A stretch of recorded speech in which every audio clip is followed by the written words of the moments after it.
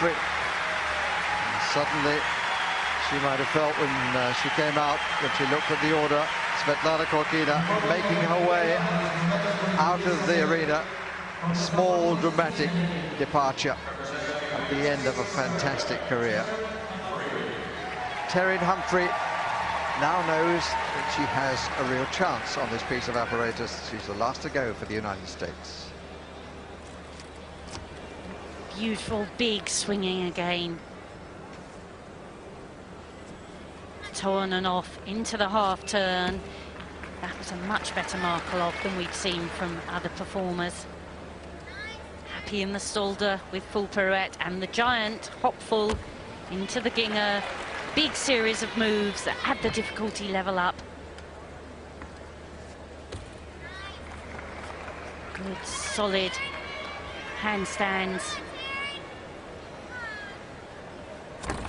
Very strong dismount, merest hop. She's given it of her best without any doubt at all.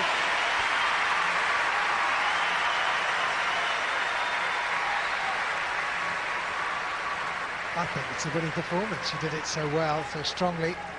Le Pennec did a very difficult exercise, but she did have a couple of form errors. From what I could see, there was very little wrong with this, Christine.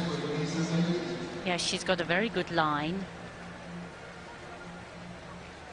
There, that good high lift off the bar with the full turn. The Gienger, tiny bit pulled, little tiny bit bent elbowed.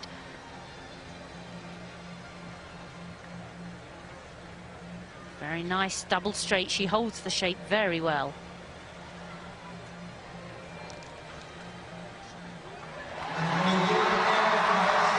And second place for Terin Humphrey